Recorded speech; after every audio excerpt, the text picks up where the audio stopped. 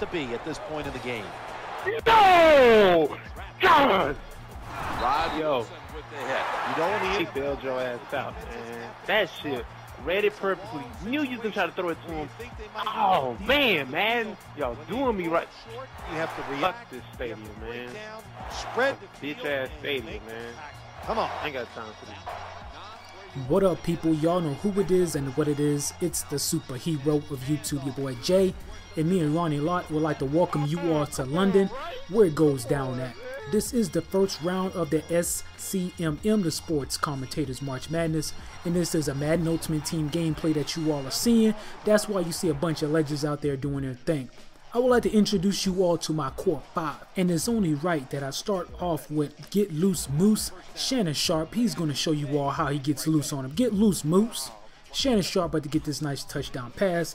Next is going to be Curtis Marty Marr. Martin from the Five Heartbeats Cocaine Eddie Night Train. Casp the Ghost. And the last one is the three-star No Fingers Jerry Rice. Because he drops every single pass you throw towards his way. I don't know what I was thinking by sending Patrick Willis on his blitz. I made a mistake. I should have kept him in his zone. But hey, you live and you learn, right? Right now you're about to see my boy Curtis Marty Marr doing his thing. One of the most underrated, underused card in Madden Ultimate Team. And just like Kevin Hart said, you're gonna learn today. Y'all better pay attention to Curtis Martin. So right now, Graham is like, yo, coach, it's seven and seven, second quarter, third and six. Put me in the game. Let me show you some moves that I learned in Dancing with the Stars. So as you can see in the top right hand corner, he hits him with the Harlem Shake. Do the salsa back up the field. He gets the first down for me. Do your thing out there, Graham. Let's go. So with that great run by Graham and put us in a great position for another great run by Curtis Marty Marr. Curtis Marty Marr Martin doing his thing.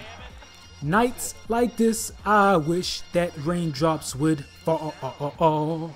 Cocaine Eddie's out there about to make his appearance on the field, but as you can see to the top right hand corner of the screen, it was clearly not an interception, but it's Cocaine Eddie doing his thing like he always does. Excuse me, sir, can I please take your order? Yes, I would like to have the house fried rice with no fingers because I do not like fingers whenever I'm playing with my Jerry Rice.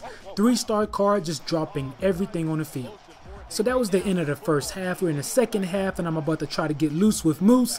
But Ray Lewis said, I'm about to put a stop to all this talk. I'm about to try to get loose on you and try to house this.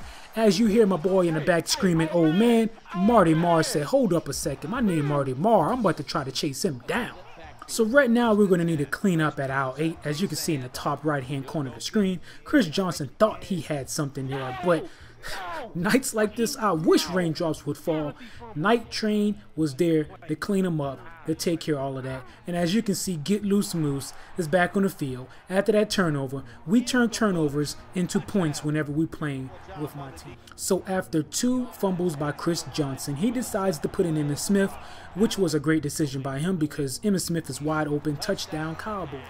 After that great drive by Emmitt Smith, I realized that I needed to kill the clock. He was able to get the ball back and was able to drive the ball down the field again. He needs this in order to tie the game up. He tries the pitch to the right, but I'm sorry, Ronnie Lott is there to clean it up.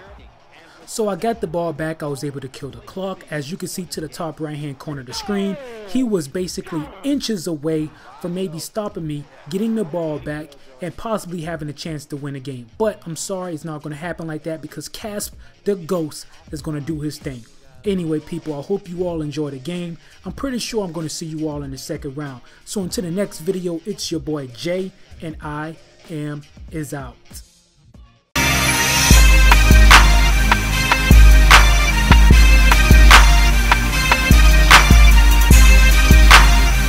We got Le Paris 57. Hey, he was nice. I like this video. Is it, is it like Paris? Oh, Show? I don't know. No, it's Le Paris.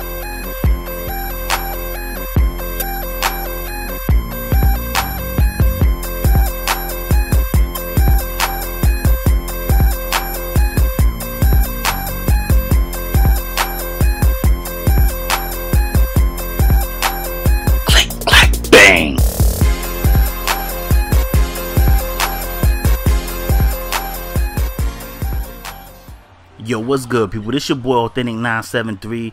This your boy Love Paris 57 on YouTube. The best nigga making beats since the best nigga making beats, aka Mr. Click Clack Bang. Y'all already know. I'm bringing y'all NBA 2K13. This is my team right here. As you see, I drive to the cup and get the nice layup with Dwight. It's a short commentary, so going to get right into it. You see, I started us from the fourth quarter right here. Dude is up um, by one, 55-56. I have on the Brooklyn Nets uniform. I'm from Jersey, so I got on the throwback Nets jersey uniforms. As you see Gerald Green with the drive, he should have got the and one, but he's going to the stripe. Of course, I bangs both. I ain't going to show y'all the, the free throws, but you see Gerald Green gets the nice pass from Dwight and throws it down. Oh my gosh, get yourself a Gerald Green.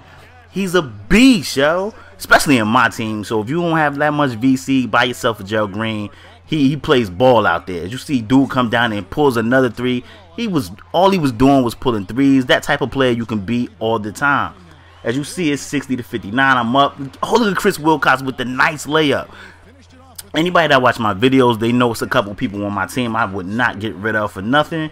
And that's Chris Wilcox, Gerald Green, and Gerald Jared Dudley, excuse me. But as you see, he's trying to get this three-pointer popping as usual. I get this steal right there. I knew he was going to pass it to that guy. DJ Augustine pushing it, passes it to Wilcox. Wilcox fumbles the pass and gets fouled. Wilcox is gonna bang both of these. He was rumbling the controller and everything on some gay shit. Y'all already know.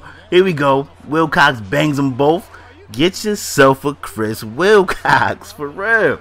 You know what I'm saying? Oh, nice steal again by Gerald Green. Gerald Green passes it to Dwight. Dwight to Augustine. Augustine to Klay Thompson. Let's go. Let's go. That's how you that's how you run the fast break, especially on my team when all these dudes do is the, the lateral movement three point shit.